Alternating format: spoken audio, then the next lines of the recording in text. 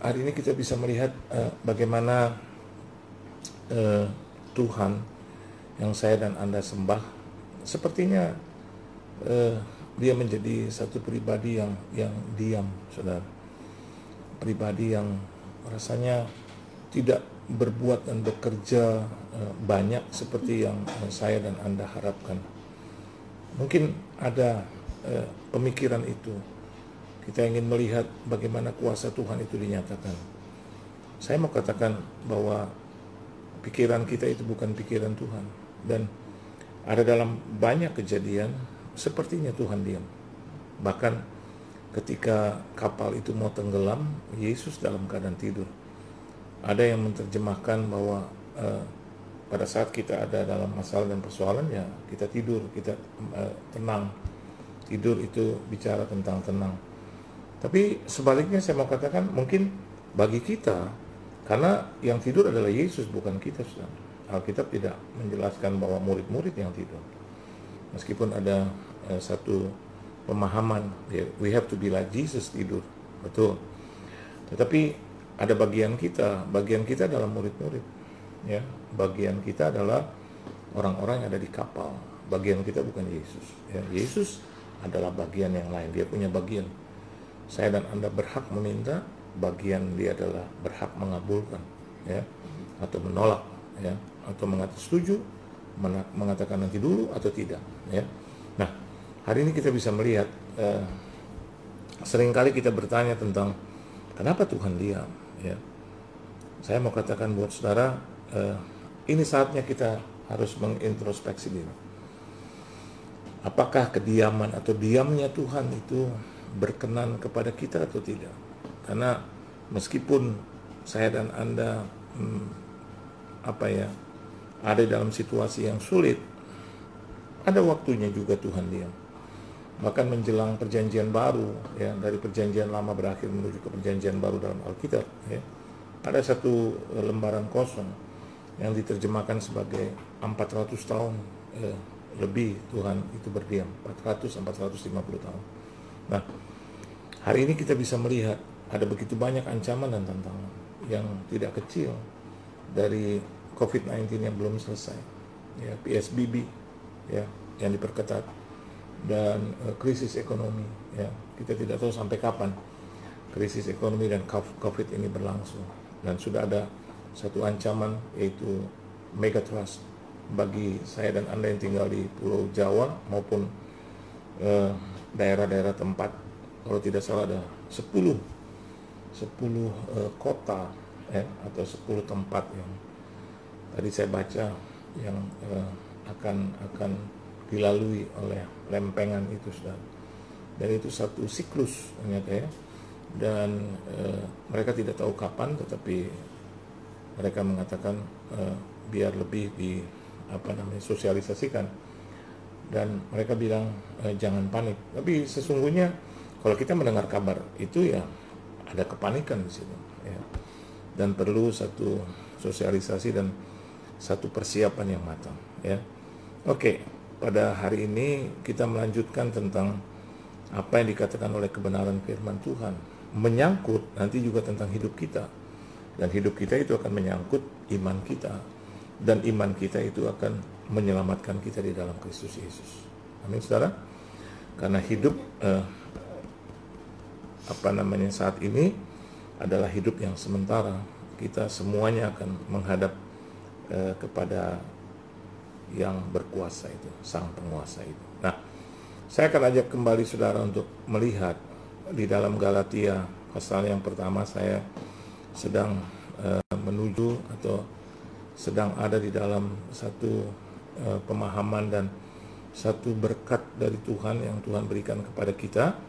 Di dalam Galatia pasal yang pertama ayat 14, 15, 16 satu satu terusan dari ayat-ayat sebelumnya. Mari saudara dan pasti ini juga berhubungan dengan kita khususnya menghadapi uh, tekanan dan juga menghadapi tantangan tetapi tetap berdiri sebagai seorang pemenang saudara ya.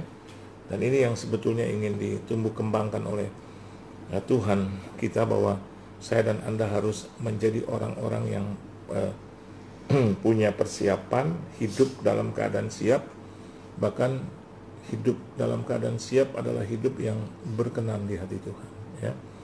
Karena ke mana pun kita pergi, kita mau pergi ke dataran rendah ada tsunami di sini. Kita mau ke naik ke atas ada gunung yang meletus, kita tahu. Kita mau di tengah-tengah, hmm, kita bisa melihat juga ada gempa. Ya. Segala sesuatunya menjadi sulit rasanya ya. Uh, soal eh, COVID-19 saja kita sudah uh, porak-poranda. Dan kita melihat tentang krisis ekonomi yang menjadi unsur salah satu unsur utama dalam kehidupan ya kan finansial keuangan dan penghasilan kan. Berhubungan erat dengan membeli barang-barang kebutuhan pokok bisa dimakan untuk dipakai ya jadi apa sih yang Tuhan ingin berikan kepada kita? Mari kita melihat uh, tulisan daripada uh, Rasul Paulus yang memberkati. Di sini dia katakan, dan di dalam agama Yahudi, aku jauh lebih maju dari banyak teman yang sebaya dengan aku di antara bangsaku. Sebagai orang yang sangat rajin memelihara adat istiadat nenek moyangku, ya. Tetapi waktu ia yang telah memilih aku sejak kandungan ibuku dan memanggil aku oleh kasih karunia-Nya, berkenan menyatakan anaknya di dalam aku supaya aku memberitakan dia di antara bangsa-bangsa bukan Yahudi. Maka sesaat pun aku tidak minta pertimbangan kepada manusia. Ini sudah sepertinya kita melihat uh, ini hanyalah satu statement daripada uh, Rasul Paulus kepada uh, orang-orang uh, Yahudi dan orang-orang non Yahudi tetapi di balik itu kita bisa melihat ada satu pelajaran bahkan satu input yang baik buat kita ya. Dimulai dengan ayat yang ke-14 dia mengatakan tentang uh, satu agama agama Yahudi. Dia adalah seorang Yahudi dan uh, Judaism ya. Itu bukan hanya bicara tentang nationality tapi juga dia bicara tentang uh, religion atau Judaism bukan hanya bicara tentang uh, uh, apa namanya agama tapi juga dia bicara tentang nationality warga negara ya jadi dia ingin mengatakan di dalam agama Yahudi, even uh, Judaism itu agama, even nationality, dia katakan aku aku jauh lebih maju dari banyak teman yang sebaya dengan aku di antara bangsaku. Dan uh, di sini dikatakan bahwa before his confession, sebelum uh, perubahan di dalam kehidupan uh, Paul had been even more zealous zealous for the law dan the Judaizers. Jadi di antara orang-orang Yahudi, ya, dia adalah pribadi yang even more uh, zeal, zealous, zeal itu yang bersemangat, menaruh minat. Jadi dia ingin terangkan kalau you wanna compare me gitu dengan orang-orang yang yang yang menjadi teman sebaya uh, dengan aku di antara bangsa tuh uh, he would like to say Paul ingin berkata bahwa aku tuh lebih dari orang-orang di zamanku. Jadi pemahamannya begini, antara iman dan kesombongan itu bedanya tipis. Nah, hari ini yang kita perlukan adalah iman, saudara, bukan kesombongan. Jadi ayat 14 dia ingin menyatakan bahwa sesungguhnya kalau kita mau bicara tentang ilmu, bicara tentang agama baik itu eh, apa namanya keagamaan ya kalian tuh nggak ada apa-apanya dengan aku. Apa maksud Rasul Paulus? Dia ingin mengatakan jadi kalau kita hanya mengandalkan ilmu pengetahuan yang kau pertahankan seperti itu karena sebelumnya orang-orang Yahudi pada saat itu eh, khususnya orang-orang eh, Kristen Yahudi ya. Jadi eh, orang-orang yang mengikut Yesus tetapi selalu mengatakan bahwa kalau kau ingin menjadi uh, pengikut Kristus kau harus menjadi Yahudi terlebih dahulu ya. Not in nationality tapi juga dalam kepercayaan dalam law ya. Dalam hukum ya sedangkan Rasul Paulus katakan oh kalau bicara tentang uh, adat istiadat ya dia katakan itu ya Rajin dia memelihara adat istiadat nenek moyang. Dia bilang dia adalah pribadi yang jauh lebih maju. Jadi kita mau bilang, oh Paul ini sombong banget. No, dia hanya menerangkan satu kenyataan. Jadi kalau saya dan Anda hanya bicara tentang kenyataan, tentang ilmu, tentang keadaan, tentang situasi, dia sudah belajar tentang Judaism, bahkan menjadi uh, uh, apa Yahudi asli gitu, karena dia katakan di sini dia Ibrani asli sudah. Jadi Rasul Paul ingin menerangkan, jadi kalau kita bicara tentang ilmu, kita bicara tentang uh, segala sesuatu yang pada akhirnya adalah menyombongkan diri, rasanya aku paling depan. Halo. Nah, hubungannya dengan yang tadi saya katakan tentang uh, keadaan ekonomi, keadaan COVID-19, bahkan uh, keadaan nanti gempa atau segala macam, kita tidak bisa lagi menjadi orang-orang yang sombong. Hanya mengandalkan segala sesuatu yang menurut kita itu adalah sesuatu yang harus dipertahankan. Bahkan dia katakan dia sangat rajin memelihara adat istiadat nenek moyangku. Pertanyaannya adalah, apakah dia ingin melanggar adat istiadat nenek moyang? Nenek moyangnya? Tidak. Dia hanya berkata, in fact, in reality, sesungguhnya aku ini lebih maju dari kalian. Dan dia katakan lebih lanjut, tetapi waktu iya. Jadi eh, ketika Tuhan yang telah memilih Paul sejak kandungan ibuku dan memanggil aku oleh kasih karunia-Nya, jadi masuk hal yang baik, saudara. Kalau hanya mengandalkan kesombongan dan yang kedua tidak mengandalkan kasih karunia Tuhan. Karena bagi Paulus, dia itu telah dipilih oleh Tuhan semikian rupa. Bahkan sejak kandungan ibu. Dia sudah dipanggil Tuhan sedemikian rupa. Ini artinya bicara tentang satu kepekaan yang harus miliki. Jadi kesembuhan yang harus kita hapus dan sekarang kita berjalan di dalam satu hubungan dengan Tuhan. Kepekaan itu terjadi karena hubungan dengan Tuhan. Dan dalam kepekaan itu ada sesuatu yang yang yang sifatnya menyeluruh yang sering kali kita tidak sentuh itu ya saya mau katakan buat saudara ada sesuatu yang saya ingin bagikan buat saudara. Uh, di sini dikatakan because God was guiding his ministry. Jadi Tuhan yang telah menuntun dan memimpin pelayanan Paul sedemikian rupa ya. Karena ayat 14 itu kalau Anda compare dengan ayat yang ke-13, dia sudah menyatakan kalau kamu telah dengar tentang hidupku dahulu dalam agama Yahudi, Judaism, tanpa batas aku menganiaya jemaat Allah dan berusaha membinasakan. One side dia berkata bahwa aku dijahat gitu. But on the other side dia berkata di dalam agama Yahudi aku jauh, jauh lebih maju. Jadi both side dia punya semua. Kejahatan dia punya, kebaikan, not kebenaran, tapi kebaikan, ya, yang dituntut oleh eh, orang-orang Yahudi pada saat itu, Kristen Yahudi pada saat itu, aku lebih maju. Kalau hanya cuma mengandalkan agama, hanya mengandalkan kepercayaan, aku lebih maju dari kalian, ya. Bahkan dari orang-orang yang sebaya dengan aku. Jadi kalau dia berkata pada saat itu dia berumur 30, 35, maka orang-orang yang umur 30, 35, lebih sedikit, 38, 40, atau di bawah, 32, 31, nggak ada lawan. Jadi kalau bicara tentang kejahatan, dan kalau bicara dengan tentang eh, apa yang dia miliki, maka dia katakan, eh, saya dengan harus dengan eh, jujur mengatakan dengan sombong gitu. Aku dengan jujur bahwa aku jagonya. Jadi you cannot compare ya uh, both sides gitu dengan Paulus. Saya uh, orang-orang di zamannya nggak bisa lawan dia. Karena dia katakan dengan dengan dengan dengan kejujuran dengan fact dengan reality. Terus sudah tetapi Alkitab katakan uh, Paul had been sincere in his zeal.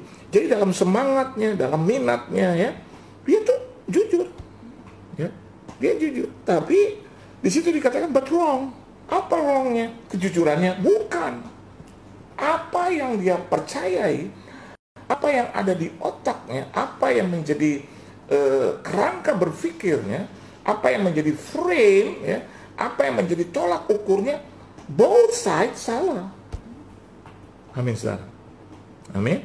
Jadi hari-hari ini adalah hari-hari yang penting bagi saya dan anak untuk memperbaiki itu dasar dasar hidup kita.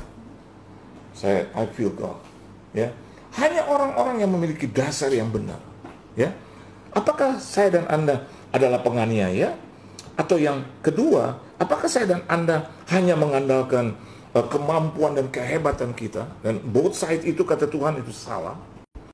Yang benar adalah when the time he jadi ketika waktu ia memilih aku sejak kandungan ibuku dan memanggil aku oleh kasih karunia yang benar adalah saya dan hidup Anda bukan hidup karena kejahatan. Yang benar adalah saya dan anak bukan hidup karena kemampuan dan kehebatan. Tapi yang benar adalah kita hidup oleh karena kasih karunia Tuhan yang memanggil kita. Jadi frame-nya harus benar. Ininya harus benar. Ininya harus benar. Dan ketika kita bisa bisa bisa uh, saturate dengan itu, ketika kita bisa menyatu dengan itu, maka ayat 16 menjadi milik kita. Yang berkenan menyatakan anaknya di dalam aku. So, Yesus bilang, if you abide in me, if you abide in me, Yesus tidak berarti if I abide in, abide in you. Jadi kalau dia bilang if I abide in you berarti ada masalah dengan Yesus. Halo. Halo. Amin. Sekali lagi. If you abide in me. Jadi yang menjadi masalah, jadi subjek adalah kita.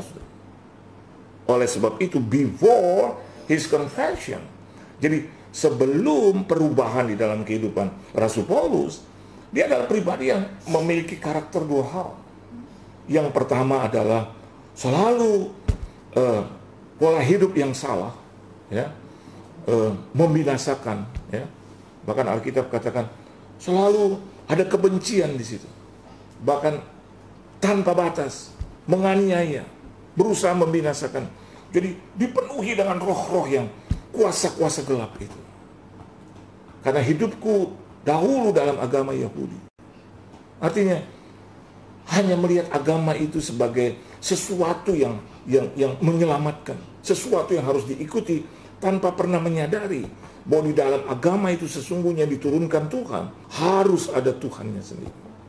Dan Tuhannya sendiri tidak akan pernah menyuruh kita menjadi membenci, membinasakan, bahkan menghancurkan.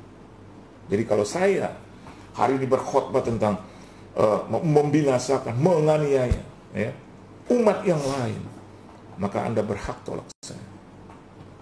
Jadi kalau ada orang yang bilang, waduh, apa namanya, boleh kita melakukan kejahatan, kita menganiaya. Saudara, hukum di Indonesia saya.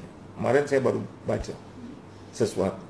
Ya, ada seseorang ya yang melihat sendiri istrinya itu berselingkuh dengan orang lain. Dia masuk ke rumahnya.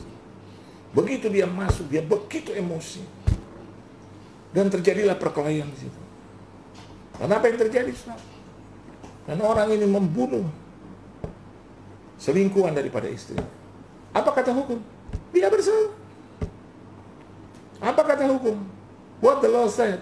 Dia bersalah dihukum karena dia menghabisi nyawa orang lain. Meskipun ada alasan di situ. Tapi bukankah ada hukum yang menyatakan serahkanlah kepada aparat hukum. Bukan menganiaya dan membunuh. Walaupun dia punya alasan kuat. Bahwa itu adalah istriku. Apa yang terjadi kalau istri bapak begitu?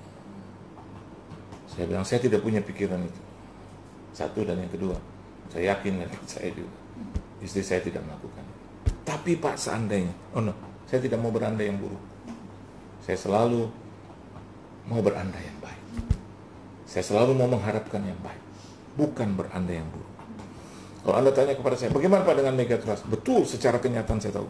Secara ilmu saya tahu. Tapi saya mau berandai yang baik. bahwa Indonesia selamat. Saya yakin dan percaya mau lempengan apa pun kalau kita bersama-sama tadi katakan ya bukan orang yang yang yang emosional, bukan penganiaya, bukan musuhnya Tuhan, bukan yang selalu dirasuki oleh kegelapan. Saya yakin kita akan selamat. Kita akan dijagai oleh Tuhan. Sama seperti Rasul Paulus, meskipun dia lakukan itu, tapi Tuhan yang menemui dia. Tuhan yang mengampuni salah dan dosanya. Meskipun saya dan Anda menjadi orang yang pemberang, tapi ketika Anda mendengarkan firman ini, Anda bertobat, masih ada pengampunan dan kebaikan Tuhan. Dan yang kedua, meskipun kita menjadi orang yang sombong, menjadi orang-orang yang rasanya berkata saya yang paling benar, saya yang paling uh, mulia, saya yang paling tahu. Tapi hari ini saya katakan, buat apa kita memelihara seperti itu? Kalau itu ternyata tidak berkenan kepada Tuhan. Memang rajin memelihara adat istiadat nenek moyang. Kalau ada hal-hal yang baik, kita harus pelihara itu. Tetapi ketika kita pakai itu, ya, ilmu keagamaan, ya, ilmu pengetahuan untuk menjatuhkan orang lain, untuk merasa lebih hebat daripada orang lain. Dia menyatakan tentang uh, hal yang benar. Dia jujur Rasul Paulus, tapi dia katakan di atas itu semua waktu dia yang telah memilih aku sejak kandungan ibuku. Kita harus sadar bahwa kita guided, dituntun oleh Tuhan untuk melakukan kebenaran dan kebaikan. Dan kita harus sadar sedang ketika Rasul Paulus tahu bahwa ternyata rencana Tuhan dalam hidupnya bukan untuk menjadi pembenci, bukan untuk menjadi orang yang sombong, bukan menjadi orang yang melawan perintah Tuhan, tapi sebaliknya, Alkitab katakan bahwa dia hidup oleh kasih karunia Tuhan. Apa itu kasih karunia Tuhan? Menyatakan Yesus yang di dalam kita semua. Amin. Ketika kita bicara tentang Yesus, kita bukan hanya bicara tentang perbuatan, bukan hanya bicara tentang kebaikan, tapi kita bicara tentang kebenaran di situ.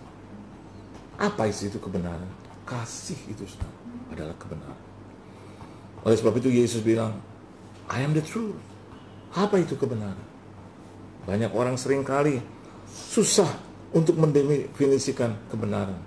Dan Yesus di dalam dia, bukankah Yesus itu ada kasih? Dia bisa mengampuni orang yang bersalah kepadanya. Dia bisa menanggung seluruh dosa manusia. Kenapa? Karena dia adalah kebenaran itu. Kenapa dia bisa menyatakan benar?